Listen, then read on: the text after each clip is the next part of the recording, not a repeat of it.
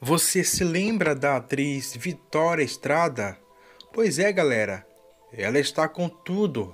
A musa global que recentemente protagonizou a novela espírita Espelho da Vida estará nas telinhas nas próximas semanas e a atriz comentou sobre o seu relacionamento gay com a gata Marcela Rica e disse ser tudo muito natural.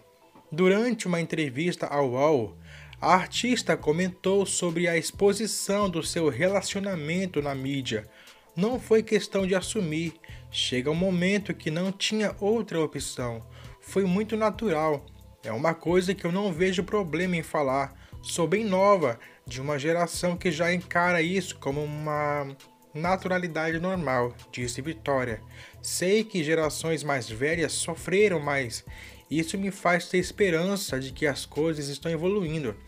Acho que o mundo está aprendendo a respeitar mais o amor do outro, comentou ela sobre sofrer possíveis preconceitos. Não dá para as pessoas perderem o emprego por causa de sua cor, orientação sexual, religião ou qualquer outra coisa que não seja competência para ocupar aquele cargo, desabafou e ainda acrescentou.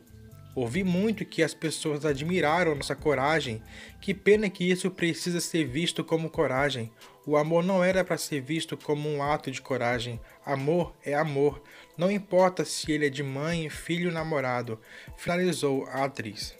Pois é, pessoal. Antigamente, né, as pessoas que se assumiam homossexual era mais provável, né, apanhar, a sofrer muito preconceito. Hoje em dia Ainda tem gente que sofre bastante preconceito, mas não é tanto igual antigamente. Parece que o mundo está acordando já e se adaptando, né?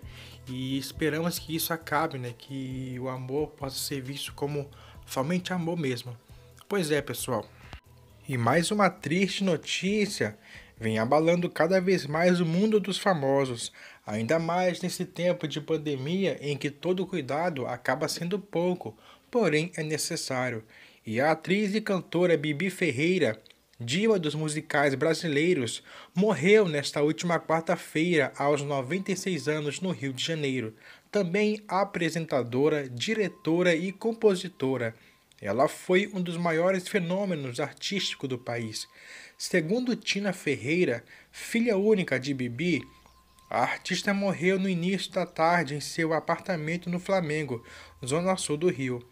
A atriz acordou e a enfermeira que a acompanhava percebeu que o batimento cardíaco estava baixo e por isso chamou um médico. Tina acredita que a mãe morreu dormindo.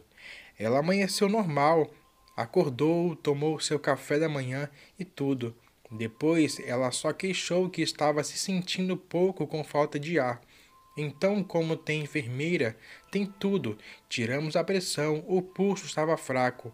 Imediatamente chamamos o procardíaco. Eles viram muito rápido, muito rápido mesmo.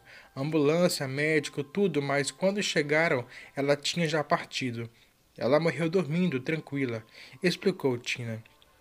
Pois é, pessoal, nós aqui do canal né, desejamos né, que ela possa descansar em paz e que Deus conforte sempre o coração dos familiares, porque sabemos que é difícil né, perder uma pessoa. Ainda mais nesse tempo de pandemia que muitas famílias estão sendo assoladas por falta de cuidado. Então aqui pedimos, gente, se cuidem, não saiam de casa, fique em casa e só saia para o necessário, por favor. Então, desde já eu peço que vocês deixem seu like, se inscrevam no canal e até o próximo vídeo.